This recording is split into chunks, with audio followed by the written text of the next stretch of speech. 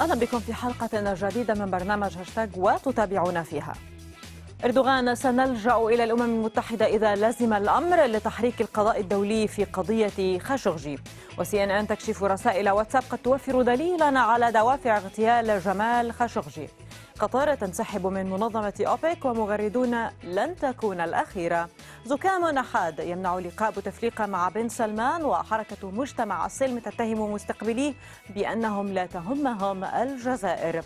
ونظام بشار الأسد يقيد الشباب بالسلاسل لإجبارهم على الانضمام لجيشه وفي مصر محكمة الجنايات تؤيد إخلاء سبيل المدون والصحفي وائل عباس بتدابير احترازية. كل هذا وأكثر في هاشتاج فتابعونا.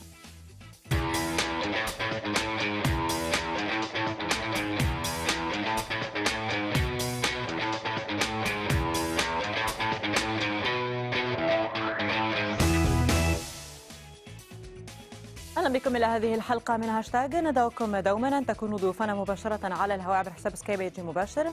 وبإمكانكم أيضا أن تساهموا معنا عبر حسابينا على تويتر وفيسبوك في اختيار موضوعات الحلقات والتعليق عليها. فشاركونا.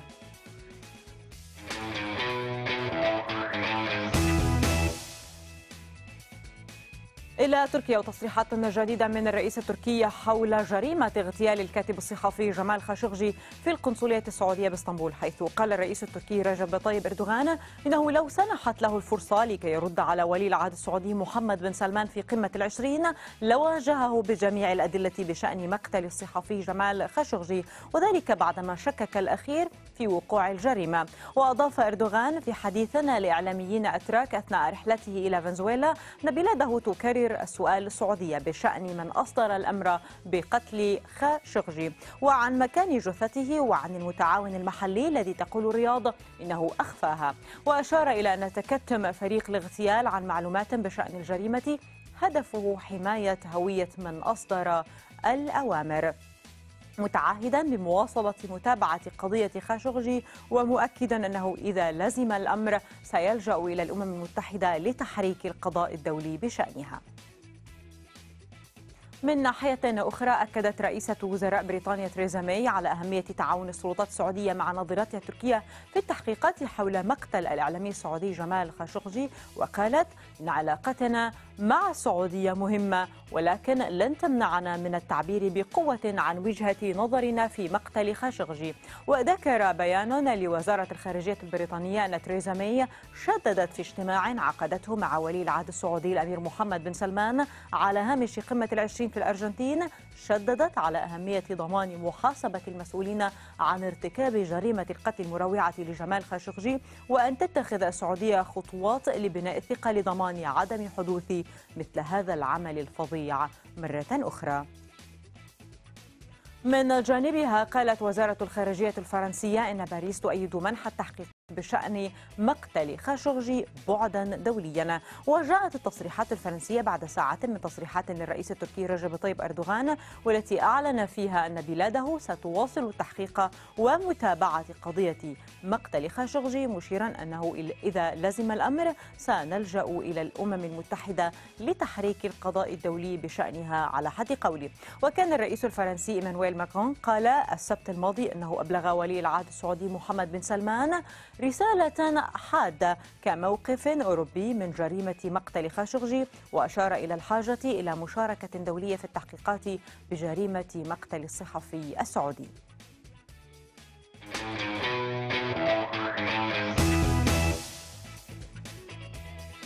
إلى قطر وردود أفعال واسعة على قرار انسحابها من منظمة البلدان المصدرة للنفط المعروفة باسم أوبك حيث أعلنت قطر اليوم الاثنين الانسحاب من منظمة أوبك على أن يتم تنفيذ القرار يناير المقبل. وأوضح وزير الدولة القطري لشؤون الطاقة سعد الكعبي أن بلاده أخذت هذا القرار بعدما بحثت في استراتيجيتها طويلة المدى مشيرا إلى أن القرار يرجع لأسباب فنية واستراتيجية وليست سياسية. وصرح الكعبي في مؤتمر صحفي عقده اليوم الاثنين بأن الدوحة أبلغت أوبك بانسحابها صباح اليوم ووصف القرار بأنه لم يكن سهلا. بعدما بقيت قطر عضوا بالمنظمة لمدة 57 عاما. وأشار الوزير إلى أن اجتماع أوبك المقبل سيكون آخر اجتماع تحضره الدوحة. وزير الدولة القطري لشؤون الطاقة سعد الكعبي قال إن بلاده أخذت قرار الانسحاب في إطار التخطيط لاستراتيجية طويلة المدى والبحث في سبل تحسين دورها العالمي وأن القرار يتماشى مع رغبة قطر في تركيز جهودها على تطوير قطاع الغاز. أو نتابع. شرعنا من خلال قطر للبترول بالعمل على تطوير وزيادة إنتاجنا من الغاز الطبيعي المسال من 77 مليون طن سنويا إلى 110 مليون طن سنويا خلال السنوات القادمة. كما أعلنت قطر البترول سابقا عن استراتيجيتها لرفع طاقتها الإنتاجية من 4.8 مليون برميل مكافئ يوميا إلى 6.5 مليون برميل مكافئ يوميا خلال العقد القادم. وسنطور أيضا أكبر مشروع للبتروكيماويات في الشرق الأوسط لتكسير غاز الإيثين. من جانبه أشاد الشيخ حمد بن جاسم آل ثاني رئيس وزراء قطر الأسبق بقرار انسحاب قطر من منظمة الدول المصدرة للنفط أوبك واعتبره قرارا حكيما. وقال الشيخ حمد بن جاسم في تغريدة على حسابه الرسمي على تويتر انسحاب دولة قطر من منظمة أوبك هو قرار حكيم فهذه المنظمة أصبحت عديمة الفائدة ولا تضيف لنا شيء فهي تستخدم فقط لأغراض تضر بمصلحتنا الوطنية. خبر انسحاب قطر من منظمة أوبك حظي باهتمام واسع على منصات التواصل الاجتماعي في الكثير من الدول العربية. ونبدأ بتغريدة من القطري فيصل محمد المرزوقي قائلا لست على دراية تامة بتبعات الانسحاب ولكن كمواطن يقيني أنه لم تقدم عليه القيادة إلا لأسباب وطنية استدعت ذلك. وكمتابع أرى أن السعودية للأسف تدمر كل الكيانات والتكتلات التي يمكن أن تواجه هيمنة القوى العظمى ولذلك هؤلاء متمسكين بالسياسة السعودية الجديدة. حمد الثاني هو الآخر كتب عبر تويتر قائلا قطر لن تكون أول وآخر دولة تخرج من منظمة الأوبك. هناك الكثير من الأعضاء الذين ينتظرون الفرصة السانحة للخروج من المنظمة لعدم التزام الأعضاء بحصص إنتاجهم بسبب سياسات محمد بن سلمان الذي لا يجد مخرج لجرائمه سوى زيادة الإنتاج لإرضاء سيده في البيت الأبيض. أوبك مصباح وانقص. وأضاف حمد الثاني قائلا لن تصمد أوبك وستتفكك قبل عام 2020 2020 وحينها إذا ذهبت السكرة وجاءت الفكرة سيندم كل من ساهم في تفكيكها وسيعوم سعر النفط حسب أهواء وسياسات الدول وسيكون المتضرر الأكبر هو صاحب الإنتاج الأكبر. البرلماني المصري الشيخ السابق الشيخ محمد الصغير قال يأتي خروج قطر من منظمة الدول المصدرة للبترول أوبك ضمن ما حققته من مكاسب سياسية وإعلامية واقتصادية بعد الحصار الذي فرضه عليها الجيران. ولأن الدول المهيمنة على المنظمة ربطت سعر النفط برضا ساكن البيت الأبيض طال عمره بين قوسين. الإعلامي القطري جابر الحرمي هو الآخر غرد قائلا قطر أكدت أن انسحابها من منظمة أوبك جاء رغبة للتركيز على تطوير مشاريع الغاز الطبيعي والتوسع الذي أعلنت عنه. أيا كان السبب فإن أوبك خلال الفترة الأخيرة لم تعد تخدم أعضائها وأصبح بعض أعضائها بمكالمة واحدة يرضخون لمن هم خارجها. وأضاف الحرمي في تغريدة أخرى اقتصاديات دول الخليج تحديدا تعتمد بالدرجة الأولى على تصدير البترول وبعد أن بدأت أسواق النفط تتعافى ليصل سعر البرميل إلى 80 دولار. جاءت مكالمة واحدة من ترامب إلى السعودية بتخفيض الأسعار فنفذت الأمر فهوت إلى ما دون الخمسين دولار فلمصلحة من تعمل دول أعضاء أوبك. غردت كذلك مشاعل قائلة تثبت قطر للعالم عامة ولدول الحصار خاصة أنها دولة ذات سيادة ومبدأ ونهج وحكمة تسير عليه. لا تغير مبادئها لأجندات خارجية أو تحت ضغط قوي أخرى ليت أو قوى أخرى ليتعلم منها الكبار كما يزعمون معنى السيادة. المدون القطري أحمد اليهري كتب قائلا قرار قطر قد يشجع بعض الدول الأخرى الساخطة من تلاعب محمد من تلاعب محمد بن سلمان بأسعار النفط على الانسحاب من أوبك مما يهدد بتفكيك المنظمة. في عهد محمد بن سلمان السعودية خسرت هيمنتها أو هيمنتها على مجلس التعاون والعالمين العربي والإسلامي. وفي حال تفكك أوبك وخصخصة أرامكو ستفقد أهم ورقة ضغط سياسي تمتلكها وهي أسعار النفط.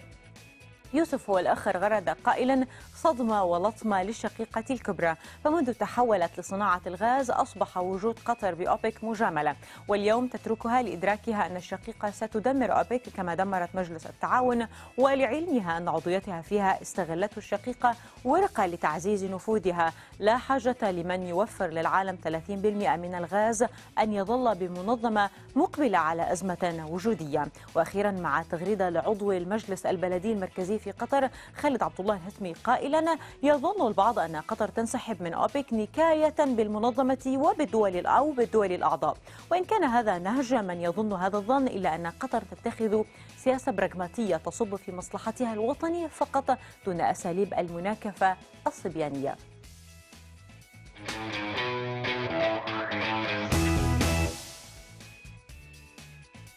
إلى الولايات المتحدة الأمريكية حيث كشف تقرير لشبكة سي أن أن عن مضمون مراسلات نحو 400 رسالة عبر تطبيق واتساب. أرسلها الصحفي السعودي جمال خاشقجي إلى الناشط السعودي المعارض عمر عبد العزيز المقيم بكندا. ووصف في إحداها ولي العهد السعودي الأمير محمد بن سلمان بأنه كالوحش يلتهم كل من في طريقه بما في ذلك أنصاره. وفي رسالة أخرى يقول خاشقجي إن بن سلمان يحب القوة والقمع ويحب إظهارهما وإن الاستبداد لا منطق له وقالت الشبكة الأمريكية إن مراسلات خاشقجي الخاصة عبر الهاتف قد توفر دليلا جديدا عن الدوافع وراء اغتياله لافتة إلى أنه كان في كتاباته العلنية ينتقد بتحفظ ولي العهد لكنه في مراسلاته الخاصة لم يكن كذلك. كما وأشار التقرير كما وأشار تقرير السي ان ان إلى أن هاتف عبد العزيز قد تعرض لقرصنة باستخدام برنامج تجسس إسرائيلي بحسب ما كشفه معمل تابع لجامعة تورنتو الكندية ولم يستبعد التقرير أن يكون المسؤولون السعوديون قد اطلعوا على هذه المراسلات التي تكشف أيضا عند خطة أو عن خطة لخاشقجي وعبد العزيز لتشكيل حركة سعودية للدفاع عن الحريات وحقوق الإنسان بالمملكة ومحاسبة المسؤولين عن انتهاكها. واعتبرت سي ان ان أن نقاشا كهذا أو إن نقاشا كهذا يعد خيانة في المملكة العربية السعودية. قالت صحيفة نيويورك تايمز أن المعارض السعودي عمر عبد العزيز المقرب من الصحفي جمال خاشقجي رفع دعوى قضائية يقول فيها إن شركة برمجيات إلكترونية إسرائيلية ساعدت السعودية في اختراق هاتفه المحمول والتجسس على اتصالاته مع خاشقجي. وأضاف كاتب المقال أن الدعوة تفرض ضغوطا جديدة على شركة NSO التي تنتج برنامج التجسس المسمى بيجاسوس. كما وذكرت الدعوة أن الشركة الإسرائيلية ساعدت حكومات بينها السعودية والإمارات بطريقة غير مناسبة على التجسس على هواتف مواطنين لديها حتى من دون أن تكون لهم أي سوابق إجرامية ومن دون أن يمثلوا أي تهديد.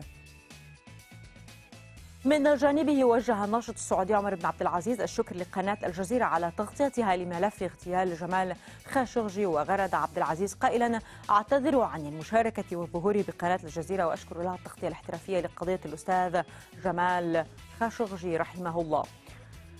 بالطبع شن مغردون سعوديون هجوما واسعا على المعارض الناشط عمر بن عبد العزيز بسبب إفصاحه عن طبيعة المراسلات بينه وبين خاشقجي. وكتب المدون فارس من باع أرضه وأهله من أجل شوية مال لا يملك ذرة كرامة. رد عليه عمر بن عبد العزيز ساخرا أحسنت. وكأنك تقصد محمد بن سلمان اللي باع النفط بخسارة مليارات الدولارات للتغطيه على جريمة جمال فعلا كارثة. الله المستعان أما أستاذ الأخلاق السياسية الدكتور محمد المختار الشنقيطي فغرد قائلا المراسلات بين الشهيد جمال خاشقجي والناشط السعودي المعارض عمر بن عبد العزيز التي اطلعت عليها السلطة السعودية بمساعدة برنامج تجسس إسرائيلي تكشف أمرين. أولهما أن الإسرائيليين شركاء في دم خاشقجي مع حليفهم في الرياض. ثانيهما أن محمد بن سلمان كان حاقدا على خاشقجي فقرر قتله بهمجية.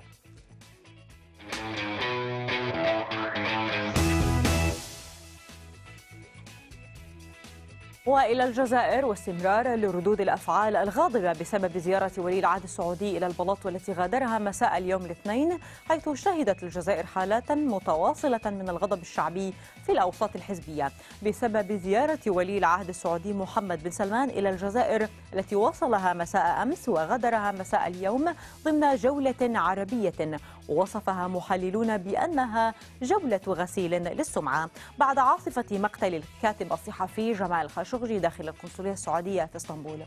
وغادر بن سلمان الجزائر دون لقاء الرئيس الجزائري عبد العزيز بوتفليقة كما كان مقررا ضمن برنامج الزيارة وذلك بسبب إنفلونزا حادة. تعرض لها بوتفليقة بحسب بيان لرئاسة الجمهورية الجزائرية اليوم اثنين. وذكر البيان إن رئيس الجمهورية اعتذر عن استقبال ضيف الجزائر ولي العهد السعودي بسبب الزكام الحاد الذي تعرض له الرئيس. واستمرارا لحالة الغضب الشعبي في الجزائر بسبب زيارة بن سلمان هاجم الدكتور عبد الرزاق مقري رئيس حركة مجتمع السلم أحد أكبر الأحزاب في الجزائر. هاجم المسؤولين الجزائريين الذين استقبلوا ولي عهد السعودية في مقدمتهم رئيس الوزراء أحمد ويحيى. وقال إن الذين بسطوا له السجاد الأحمر لا تهمهم الجزائر. وقال مقري في تدوينة على حسابه على فيسبوك حكامنا دمروا اقتصاد البلد ثم لما أغرقهم بن سلمان في أزمتهم المالية بخفض أسعار النفط استجابة لأوامر ترامب فقدوا النخوة والرجولة الجزائرية فقبلوا أن يعوضهم قاتل الأطفال في اليمن بدولاراته الحرام التي يأخذها بالسطو على خيرات الجزيرة العربية بعد سجن الأحرار وقتلهم من مواطنيه. وتساءل مقري هل تحولت الجزائر إلى جمهورية الرز ومسافة السكة أم أنها صارت تأتمر هي الأخرى بأوامر ترامب؟ وقال ومرة أخرى يتولى كبر هذه المهام القذرة على حد قوله رئيس الوزراء أحمد ويحيى وقال رئيس مجتمع السلم أن هؤلاء الذين بسطوا السجاد الأحمر لبن سلمان لا تهمهم الجزائر. وأضاف إنهم يعالجون أزماتهم أو أزماتهم بالاستسلام والخنوع للقوى الإمبريالية الاستعمارية. الدولية والإقليمية. هم يعلمون أن كل الدول التي خضعت ضاع اقتصادها وفقرت شعوبها وبعضها ضربت في استقرارها ووحدتها ولكن هذا لا يهم أمام الطموحات الشخصية وعشق السلطة والثروة.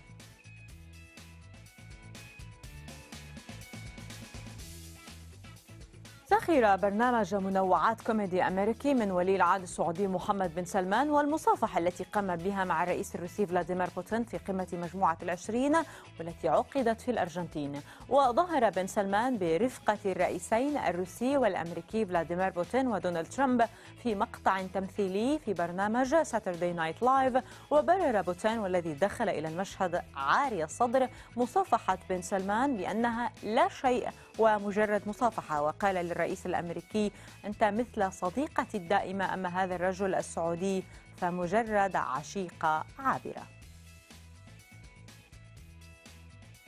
دعونا إذا نتابع جانبا من هذا المقطع لبن سلمان مع بوتين وترامب في ذلك البرنامج الكوميدي How could anyone think that I colluded with Russia? Honey, why are you still up? Come back to bed, babe.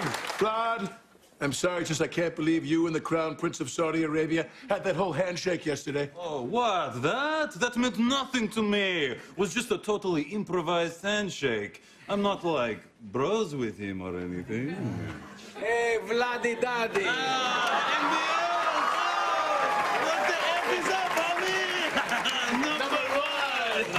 Wait, I thought I was your number one. Oh, totally. You're not my side piece. You're like my main girlfriend. This soda guy is just.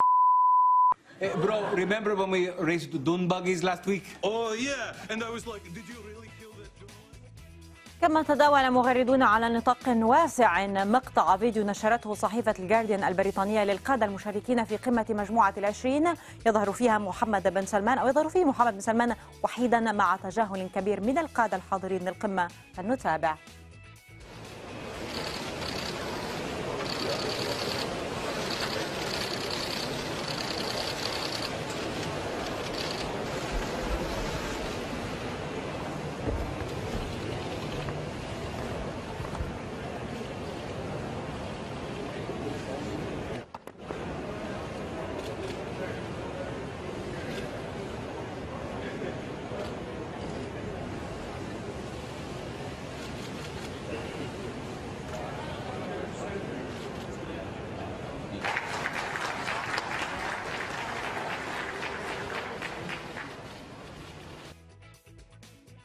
وحول الجولة الخارجية لولي العهد السعودي غرد السياسي المصري أحمد عبد الجواد قائلا بن سلمان حاول في خروجه الأول للعالم غسيل سمعته فجاءت النتيجة عكسية بتسليط مزيد من الضوء على جرائمه.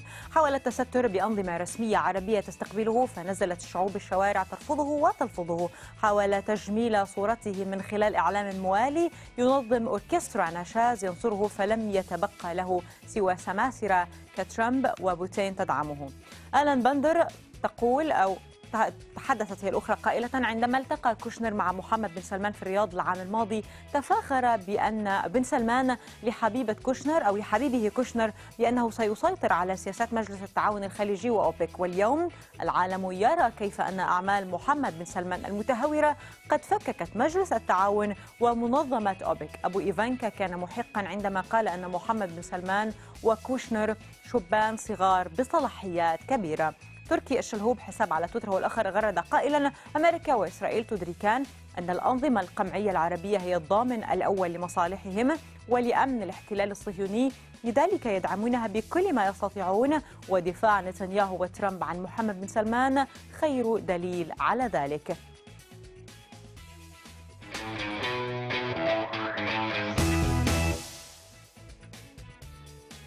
إلى سوريا. حيث تداول ناشطون سوريون على منصات التواصل الاجتماعي صورة تظهر مجموعة من الشباب السوريين أجبروا على الانضمام للجيش السوري وتم تقييد أيديهم بالسلاسل في مدينة دمشق على حد وصفهم.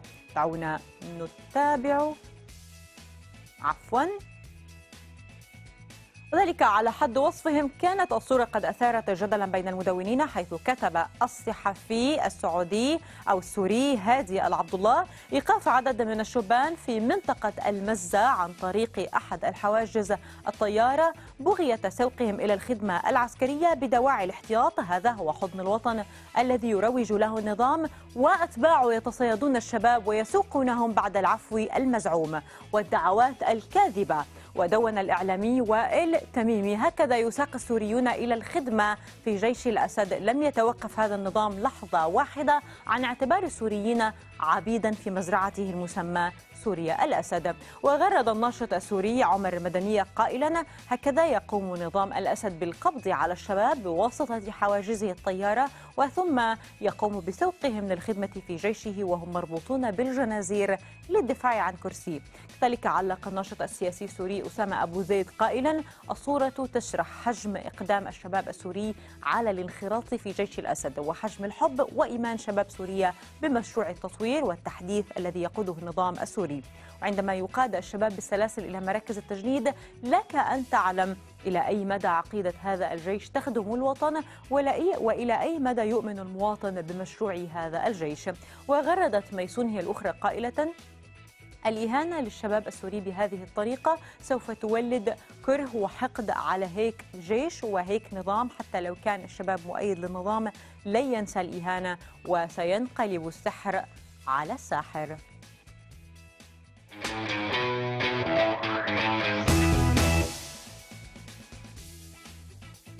إلى مصر وتأييد قرار الإفراج عن المدون والصحفي وائل عباس حيث قررت محكمة جنايات الجيزة اليوم تأييد قرار إخلاء سبيل المدون وائل عباس والباحث وليد الشبكي والصحفي مؤمن حسن.